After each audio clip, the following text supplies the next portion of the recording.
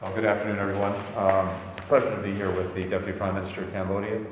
Um, I really want to thank you, uh, Deputy Prime Minister, and Cambodia for your leadership of ASEAN and for everything you've uh, done to make this such a successful uh, special summit between the United States and ASEAN. We've had an opportunity to uh, deepen uh, the work that we're doing together uh, and to put out, I think, a very important vision statement uh, for the future. And um, uh, Cambodia's work to bring us to this point uh, is greatly appreciated. Uh, We're working very closely together as partners to try to advance a shared vision uh, for uh, the region, including regional security.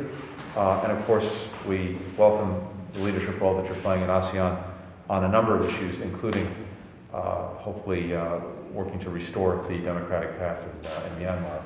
So it's very good to have you here. Welcome again to the State Department. Well, uh, thank you very much, uh, Secretary Blinken. It's uh, a real honor, pleasure to be here, uh, to have this meeting with you. It's an opportunity for us to uh, exchange uh, view, especially to strengthen our bilateral cooperation.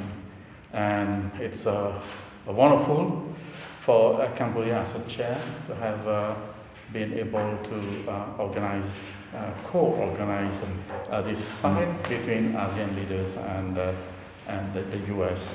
Um, I'm ready to have uh, a, a good discussion with uh, Secretary Blinken in order to strengthen our bilateral relationship and to push forward for solution in uh, a number of uh, regional issues.